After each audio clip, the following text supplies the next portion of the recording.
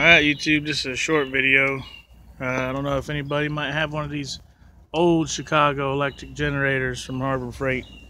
These things are, I'd say, at least somewhere between 10 to 15 years old. Anyways, I had two of these things. One of them I used for three or four years and it just quit putting out current. I brought it to a lawnmower shop. They charged me 150 bucks to tell me that the generator was junk.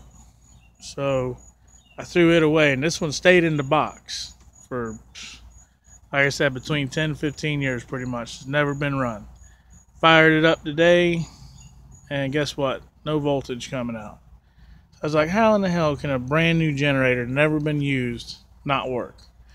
So I took off the back cover there, and this is a brushless generator. So it's got an exciter circuit which is run off a capacitor.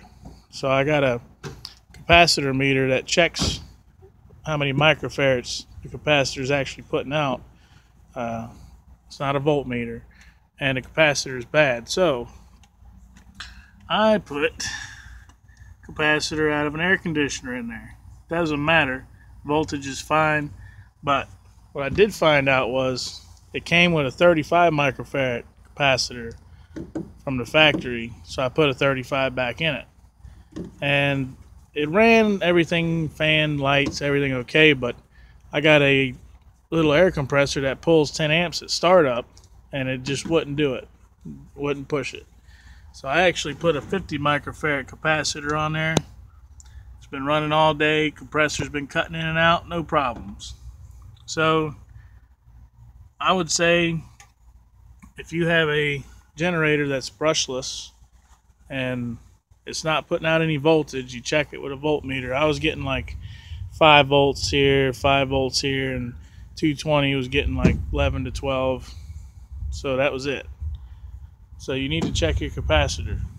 And I safely bumped mine up another 15 microfarads to 50 microfarads instead of 35 and it worked just fine and the air compressor now starts like a snap because I, I couldn't figure it out. I have a 5000 Husky and this is supposed to be a 4000.